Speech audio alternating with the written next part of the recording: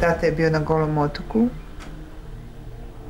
Mama je ostala sama sa Bosiljkom koja je bila dvije godine.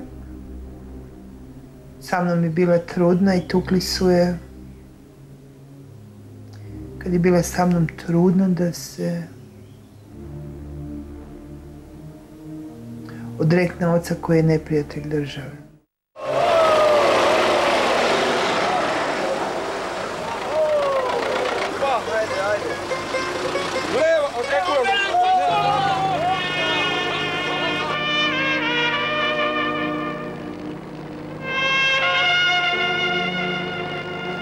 I Srbi su prošli i neka im je sretan put da se nikad više ne vrate, ako im je tamo lijepo, samo neka ostane.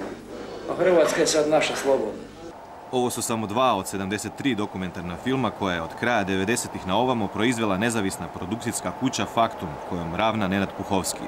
Jedni beru nagrade na festivalima, a drugi u hrvatskom društvu izazivaju skandale i polemike. Nekima uspjeva i jedno i drugo. Od palače Dioklesijana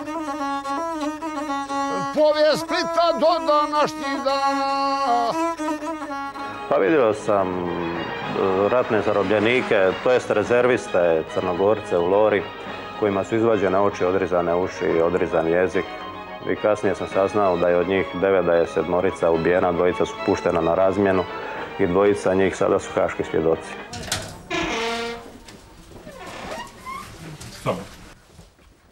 Moglo bi se reći da dokumentarci koje rade Nenad Puhovski i njegova ekipa nisu oni koje bi za vas odabrao Đelo Hadžiselimović.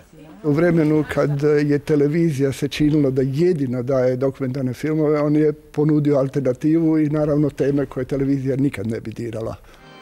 Zločini nad hrvatskim građanima srpske nacionalnosti tijekom vojno-redarstvene operacije Oluja, teška mučenja srpskih zatvorenika u splitskoj ratnoj luci Lora, neofašizam koji se tolerira u suvremenom hrvatskom društvu.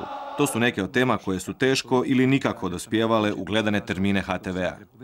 Vaš film kojem se daje velika pažnja, kojih se prikazuje na B92 u Beogradu, koji se već prikazuje u Dalmaciji, koji se danas prikazuje, koji se prikazuje upravo u vrijeme kada će početi suđenje Gotovini, kada, kada će početi suđenje u Ademiju, kada je počelo suđenje Hrvatima iz Bosne i Hercegovine, kada se, kada se došla presuda u Srebrenici, u svoj toj situaciji, kada je nedvojbeno na optuženičkoj klupi krivotvorinama državno i vojno vodstvo Hrvatske, ovaj film u kome gospodin Višković kaže da su ti zločini proizvod mržnje, hrvatske mržnje, a ne rata i ne agresije. On nije rekao hrvatske Šešelj, kao što ste vi rekli, nije Gospodine, Šešelj ludi Tomac, projekt. Konačno ste se razotkrili sami i meni i gledateljima. Što ste htjeli s ovim filmom? Razumijete? Vi stavljate nešto što je na granici, na granici ovaj djela. Ali jedna važna osobina dokumentarizma od kad postoji jest bila da dira i pokazuje stvari koje, koje ljudi ne poznaju, za koje čak ne, ne misle da mogu postojati. I često puta pokazuje one stvari koje zapravo ljudi bi radije da ne znaju za njih jer su loše. Ući u zgradu Splitskog suda s kamerom ili fotoaparatom bez posebnog dopuštenja nikada nije bilo moguće. Međutim, još nepoznatoj skupini počinitelja to je jučer uspjelo. Naime, napali su i prijetili smrću jednom od svjedoka u slučaju Lora, a potom ga još i fotografirali. Ja moram priznati da ja i sama ta sam imala nekakvih možda 20 godina nisam baš najbolje razumjela zašto se mi moramo baviti tim političkim filmovima. Ja to nisam osjećala kao bitnu temu, ali sada e, s godinama mi je potpuno jasno da su to bile strašno e, važne e, stvari. Dana Budisavljević poslije će se proslaviti kao redateljica dokumentaraca drugčije tematike, poput Sve pet o bivšoj porno glumici iz konzervativnog dalmatinskog gradića ili autobiografskog filma o obiteljskim odnosima i homoseksualnosti. Iz Faktumove radionice izlaze filmovi raznih tematika s jednim osnovnim kriterijem. Uvijek čovjek uvijek gleda prije svega emociju. E, dakle, e, nešto što će vas na neki način emocionalno angažirati, nešto što e, je dio neke priče s kojom se možete poistovjetiti. Dokumentarni film u Hrvatskoj sredinom prošlog desetljeća doživljava neočekivanu renesansu, velikim dijelom i zahvaljujući Međunarodnom festivalu Zagreb Docs, koji je sa suradnicima pokrenuo Puhovski.